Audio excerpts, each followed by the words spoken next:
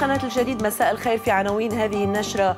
لجنة التربية تقرر قوننة الإفادات وتوصي الجامعة بإجراء امتحانات دخول. والعمل بالإفادات ابتدى من امبارح. مجلس الوزراء يمدد لسكلين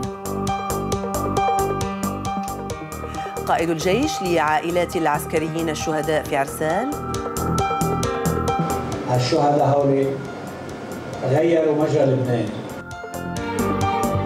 عملية نوعية في القلمون تودي بأبرز المسؤولين عن الانتحاريين وتفخيخ السيارات في لبنان. داعش للأمريكيين سنغرقكم بالدماء.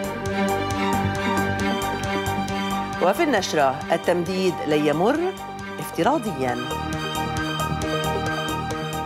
تفاصيل هذه العناوين وأكثر تتابعونها في النشرة بعد قليل.